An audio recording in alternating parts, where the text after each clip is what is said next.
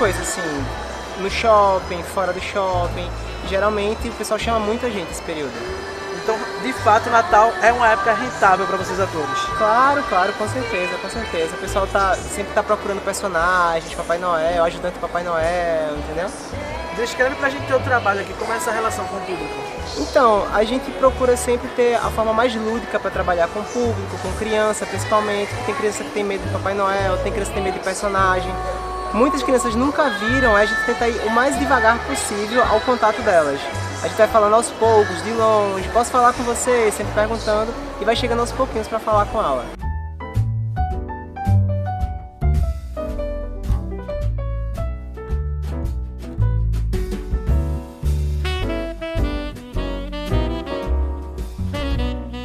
Na verdade, a minha função aqui, como mago encantado do Natal, é atrair as crianças e os adultos para conhecerem as surpresas do Natal aqui no Rio Mar. E como é essa relação com o público, né? Como é que você faz para manter o bom humor?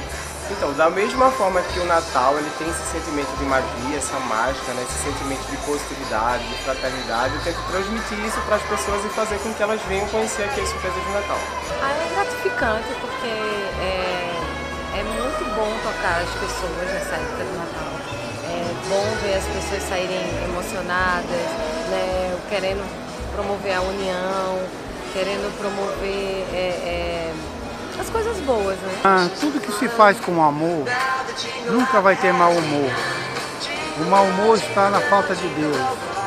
Quem tem Deus no coração não tem mau humor.